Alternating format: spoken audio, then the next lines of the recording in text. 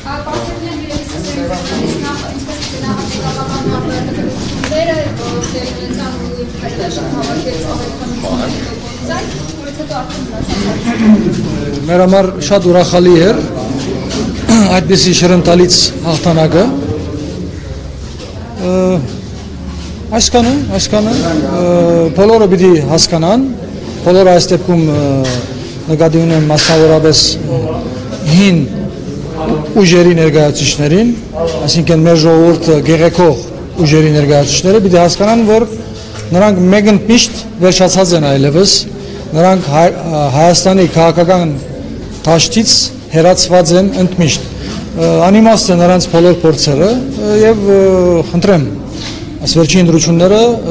ավացուցեց այդ Խորհրդանի լուսարմանը ինչպես եք վերաբերում մասնակցելու եք եւ ինչ ակնկալիքներով։ բնականաբար մեր առաջնային բանջներից է եղել միշտ օր առաջ այսօրվա խորհրդարան գոչեցյալը լուծարելը ավելին մենք բանդից նույնպես օրին գոչով հանդես ենք եկել դակավին սկիզբ, այսինքն Տավշյա հեղափոխության սկիզբներ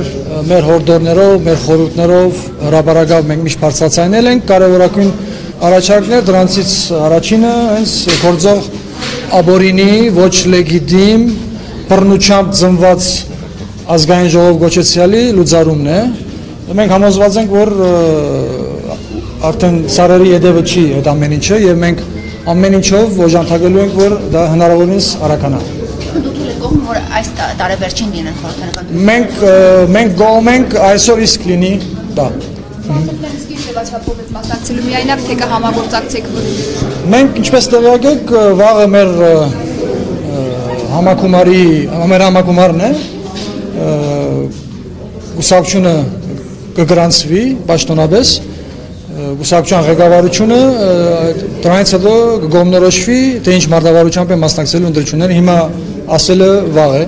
սպասենք Սոֆիլյան, արտերկրից վերադառնալուց հետո Նիկոլ Փաշինյանը սկսելու է բանակցություններ, թե խորհրդանական, թե արտախորհրդանական ուժերի հետ, հա, խորհրդանի լուծարման մասով։ Տեսնում եք ձեզ որպես քաղաքական սուբյեկտ եւ պատրաստ եք գնալու վարչապետի հետ այդ բանակցությունները։ Ոչ միայն մենք ենք տեսնում մե- մեզ որպես սուբյեկտ, այլ նաև մեր ժողովրդի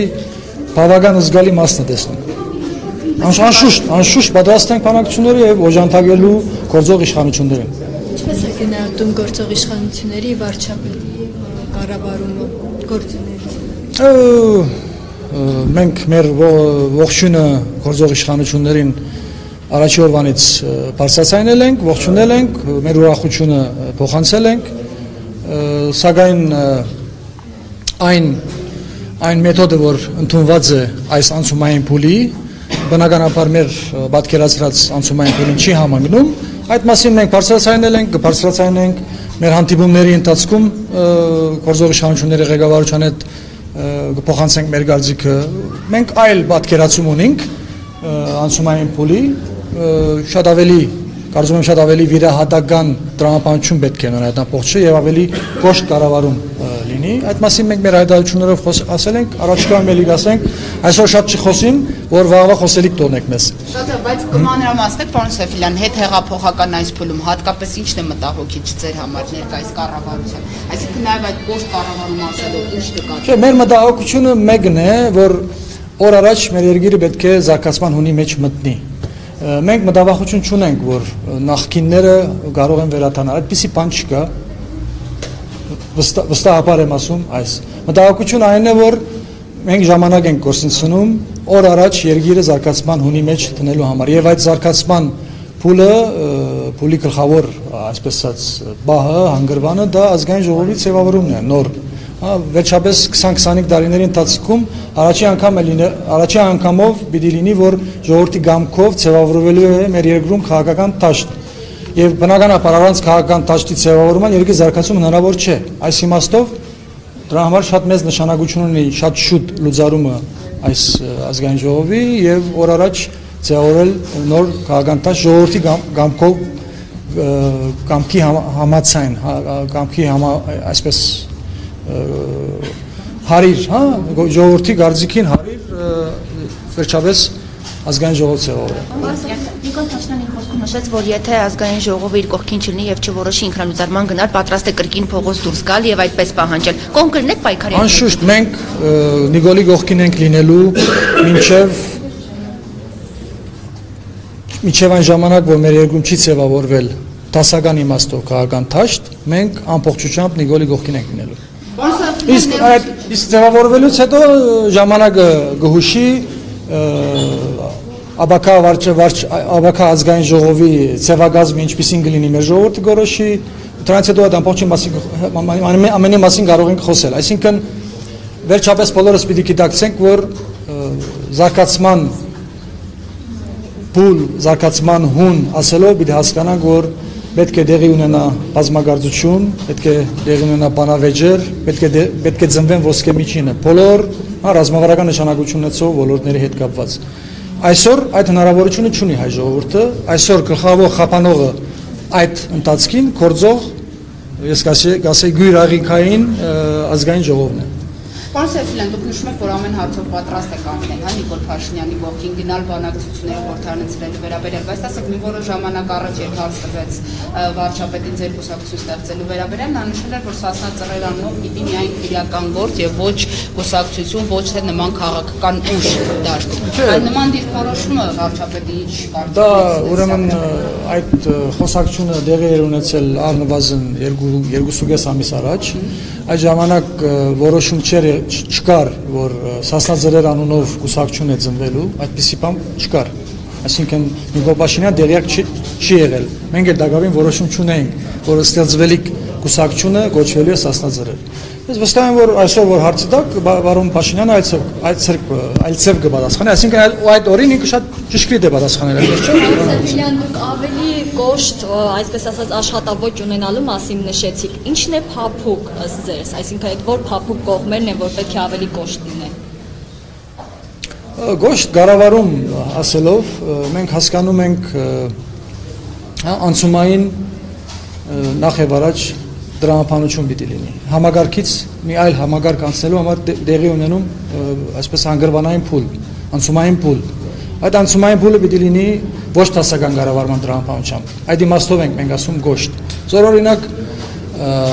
Թավշյա հեղափոխությունից հետո բոլորովին գարիկը չգար ձևավորելու այսպիսի կառավարություն շատ ավելի սեղմ քանակով կարելի էր 7-8 հոկանոց կաբինետ ձևավորել եւ գնալ առաջ։ Բոլորովին գարիկը չգար նախքին ուժերի ներկայացուցիչներին ընդգրկելու այդ կառավարությունը։ Այդ այդ կառավարությունը պետք է ձևավորվեր միայն միայն հեղափոխական ուժերի ներկայացուցիչներով։ Բոլորովին գարիկ չկար այդ փոփոխությունները եւ վարչապետի նշանակման եւ առասարակ մնացած կորձել, կորձող, հա Սերժ Սարգսյանի կողմից կեղծված համահաճան դրամապանությունը նախ եւ առաջ այդ համատություն պիտի պատատել մի կողմ տնել եւ կորձել ժողովրդի արգայությունը նկատի ունենալով, հա։ Եթե ժողովուրդը կոթիգունքում է, ուրեմն քո քայլերը լեգիտիմ է։ Մենք հասկանում ենք, որ այդ բոլորը դեղի չի ունենում հայտնի ինչ որ պատճառներով, սակայն մենք միշտ եղել ենք կողմնագիցը, որ այդ ամեն ինչ պետք է մեկ կողմ դրվեր եւ գնալ ավելի ուղիղ, վերջապես հեղափոխություն նաեւ նշանակում է ամենակարճ ճանապարհը հասնելու նպատակին։ Նաև հեղափոխությունը նա է դա է նշանակում։ Այս իմաստով թերացումները կան, բայց հուսով եմ, որ պիտի ուղղվեն այդ ամեն ինչը։ Մենք ավելին, մենք համոզված ենք, որ ժամանակը ինքը վերջում ամեն ինչ ուղղելու է։ Կարևորը շատ կարևոր է, որ ժողովրդի բարձր վստահությունը բանվի անցամբ Նիկոլ Փաշինյանի նկատմամբ։ Սա շատ անշուշտ, անշուշտ։ Այն հիմնավորումը, որ այնուամենայնիվ կար կադրային խնդիր, հեղափոխական ուժերություններին են կադրային բազան, որ որ անհրաժեշտ է նոր կառավարության ձևավորման համար։ Դուք չեք հասկացա։ Անշուշտ, անշուշտ։ Մեր ասեմ ցեզ, նաև գլխավոր լուծումներից մեկը բակային որ լինելու է, գործող իշխանություններ ով է լինի, ով է լինի, պիտի պետք է հենվի ազգի ռեսուրսի վրա, ոչ թե գուսակցության կամ իր թիմի։ Մենք կարծում ենք, որ որպես նորելուկ պետություն ճգնաժամի մեջ ենք եւ այս ճգնաժամը հաղթահարելու համար պիտի հենվել ազգի ռեսուրսի վրա։ Ես խնդրում եմ վերջի հարցը եւ 7-ին հոկտեմբերի շատ լավ հոկտեմբերի 7-ից Շահեն Հարությունյանը ի պաշտպանություն Շանթ Հարությունյանի սկսելու է բողոքի ակցիաներ իրականացնել։ Դրա վերաբերյալ ինչ կարծիք ունեք եւ պատրաստում եք արդյոք նաեւ միանալ այդ ակցիաներին դուք ձեր քաղաքական ուժով։ Ու նաեւ Շանթ Հարությունյանի վերաբերյալ վարչապետի հայտարարությունները ինչպես եք վերաբեր ինչպես է գնահատում, նա նշում է որ նա կարող է դուրս գալ եւ ազատության մեջ։ Առաջի հարցի միայն Ա, Ուրեմն անշուշտ որ Շահենի բանջին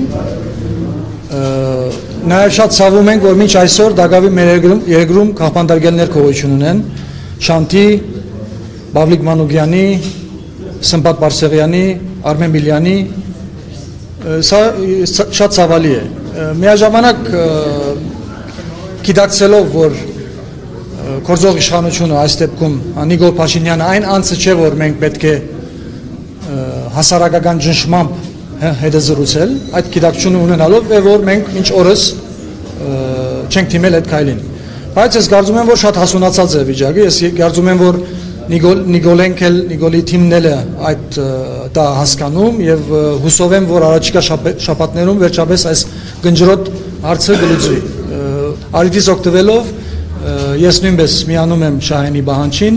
եւ միաժամանակ հորդորում եմ գործող իշխանություններին օր առաջ լուծել այս կարևորագույն գնջրոտ հարցը։ Շնորհակալություն։